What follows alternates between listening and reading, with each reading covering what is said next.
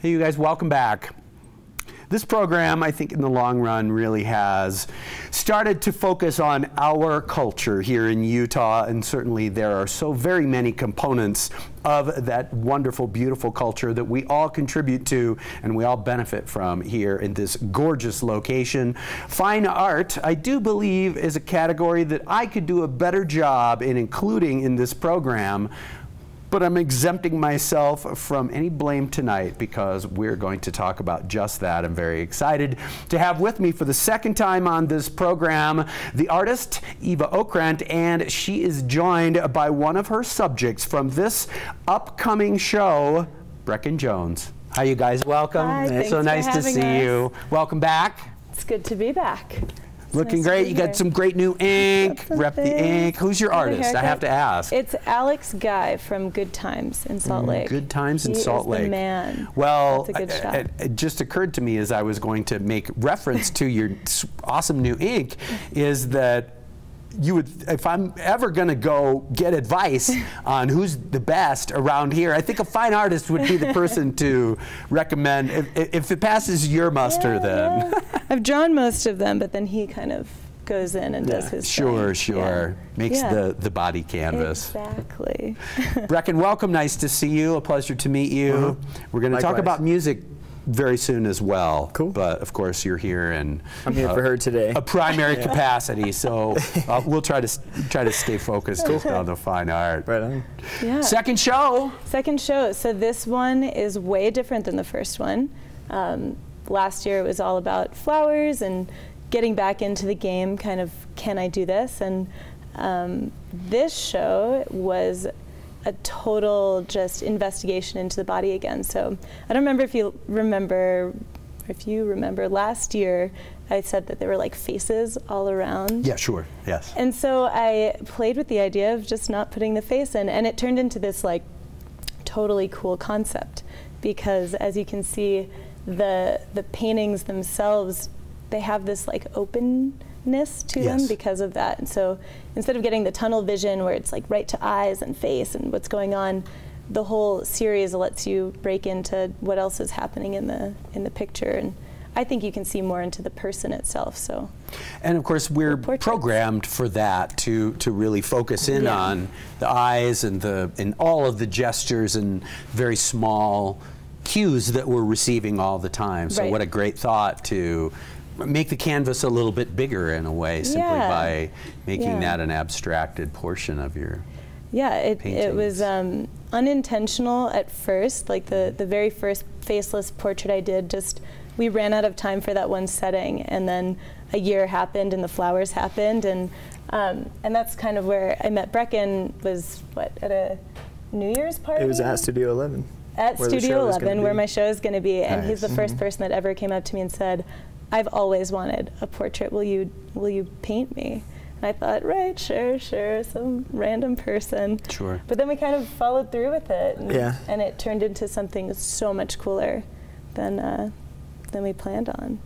Well, and that was one of the things as, as we discussed just before we came on camera, but a, a thing that I'm excited to to kind of get your input of experience on is I'm sure that, that you've had people sit for portraits before in the mm-hmm. past when you were a younger artist, that sort of thing, but obviously the flowers don't talk back. so now you have Hopefully. Or stare subjects. That's right. I'm losing my mind. Yeah. Yeah. Talk The- about that relationship and about that dialogue that happens in this case Yeah. w- with a commission. I mean, if you want me to, my per- perspective when I was doing it, because I've never done it before, it was kind of funny coming into it and thinking that it was going to be a short thing. All right, just it was- okay. Hold right there. Okay, and great job, everybody. Yeah. Great job. And it was not. Seven hours yeah, later. It was Yes. not like that, but um, I that's what kind of was cool about it. I'm into like meditation and stuff, and it really forces you to be there with that person because I'm not like looking at my phone or anything. And even though we we would talk here and there, but there'd be long moments of like silence when she's like focused, and that was just uh, it was cool. And then seeing the finished product was where it really kind of came together for me. So Yeah. Yeah, it, it was a really interesting experience especially working this one with Brecken because it was kind of how we really met. Like we had Yeah. Not yeah. known each other nearly as long as some of the other people that I've painted throughout the series after the fact. Um, but what I came to understand was that the setting is so special and it's so really personal and intimate, and there's so much vulnerability happening on the person sitting for me that what happens is we both end up talking about really intimate things. And it's like that airplane ride where you're like i'll never see this person on the train. And you talk about things and you're like wow i Yeah. really connected. But in this case it's like the history of that conversation is in all the layers of the painting. Yeah. um, and then the i guess what for me happened was because um, because we're having this conversation the emotive style of, of how I must be painting is coming through. And, and taking in what I am getting from from Brecken or from whoever was sitting um, in, in like their essence, their deepest self or that side that we don't really see often. Truly. so sometimes it came in a really strong pose or sometimes it was a little bit more covered or um, closed off, but at the same time, all of the different paintings have this humanity um, and natural form within them, which was really cool when I saw them starting to develop. Like all the paintings standing next to each other have this really intense feeling. So it's not eyes staring back anymore, but it's like this open world of conversation. Interesting. Really brings you in. It m- makes me think one of my first years here at the station, we were fortunate to welcome Marina Abramovich, Oh, who hi. big time, very, very uh, lauded artist, and She's I think of of, mine in a big way. and I, Yeah. I think of of her. Uh, installation, I guess, is maybe the right word, where she allowed uh, lines of people to come in and spend two minutes. Yeah, yeah. Jay Z, uh, Mm-hmm. among other people, participated in one of her. I've seen the film of Yeah. one of her former lovers. A long Yeah. time paramour of hers came, Oh, and and it, there's so much intensity. Yeah. and, and I think of that in terms of, of the of the painter and the subject, but also, Right. like you say, the the relationship of the two of you.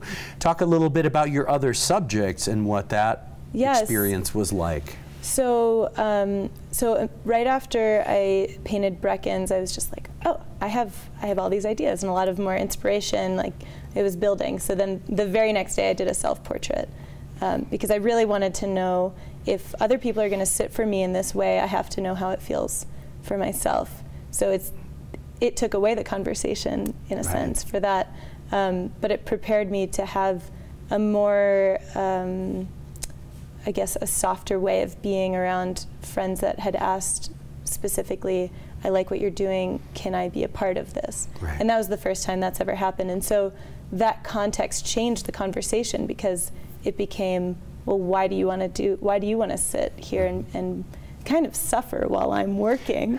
Because we're in two different brainwaves, but at the same time, we're talking about our pasts and our body image things and what it feels like to just be just so um, exposed And and, vulnerable and, and- yeah and cold and and all of the the sitting and then breaks and let dry time because I tried to do all the paintings in one session um, so that made it a little challenging too because usually a portrait painting will go over the span of a few weeks um, so this was a lot of intensive painting and and using different mediums and blow dryers to try and help the process Keep the go. process moving. Yeah. Had you done any studies of any uh, any of your subjects beforehand? It was just Yeah, no, it was just kind of blind. And a lot of the, the canvases started, Brecken started covered in uh, blue. I, I was trying to get myself going. I was in a rut, and so I just painted a bunch of different primary colors on canvases, and his happened to be blue, and so I did that with others too, because I liked how the underpainting showed kind of weird things going on when the paint started to, to dry, um, which makes them more interesting too. That's one of my favorite things about all of them is when you're far away, you see the subject and the painting, but when you get up close, you see like a whole other world of, of things going on there underneath and different layers of paint and stuff. Yeah, the impasto of it. Technical term. What a great term, and I love it when I hear words that I don't know. Could you share with us Yeah. the definition of impasto Yeah, so that I we just- all I just got are hungry enlightened said a little bit so. today? Yeah, it's Italian. I hope maybe, um, but it's just it's about the thickness of the paint. Oh, so sure. if you were to rub uh, your hand against the canvas, this you'll feel the the relief texture. So there's actual texture, whereas um, in certain styles of painting with like a brush, it it appears to have texture, but it's perfectly smooth.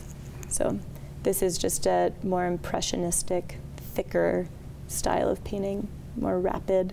Um, and that, that came up too. So I have the juxtaposition of someone sitting perfectly still, and I'm like a maniac just Right, using right. a knife. To And yeah, and talk a little bit about using the knife around. because that's certainly a, a very different tool from any kind of a brush. Yeah, and I would say that that's where I got most. So from the flowers series, I used a palette knife as well, and that really helped me in this series for my like color theory and my technique because I got to play around on the flowers with how to make certain shapes or how to blend the colors in a way that I wanted to.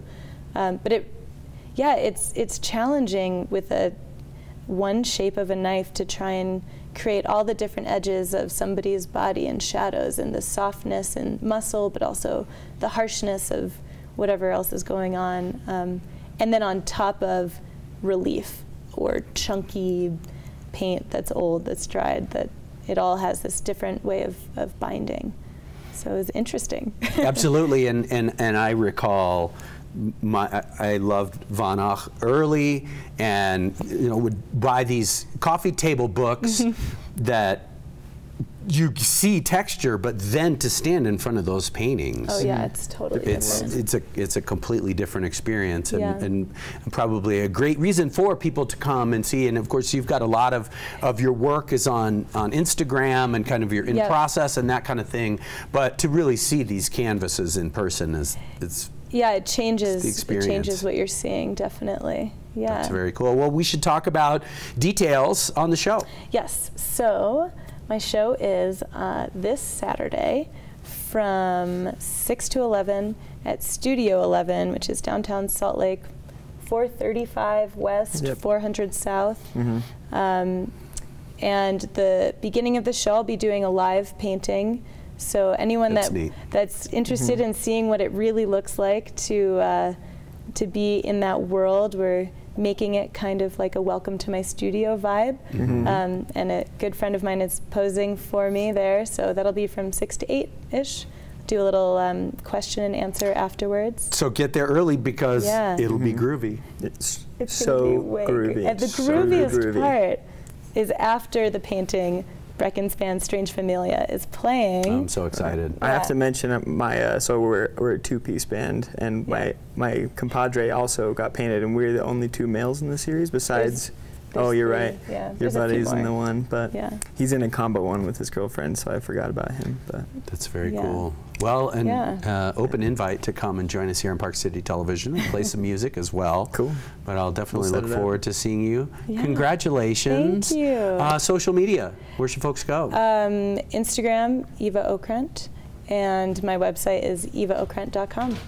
And that's all I've got. so very straightforward. yeah, Thank you so much, you easy. guys. It's really great to Thanks, meet you. Terry. It's so good to see you. Even you nice to see you again. Yeah. Congratulations. This is really cool, and it's. Um, it's really neat that you you come and share this with us. Like I say, I feel like we need more fine art on this program, and I can kind of think of the guy that could probably help that out. So Yeah. thank you for the inspiration, and we'll see you this weekend. Yeah. Awesome. It'll be fun. Thanks, you guys.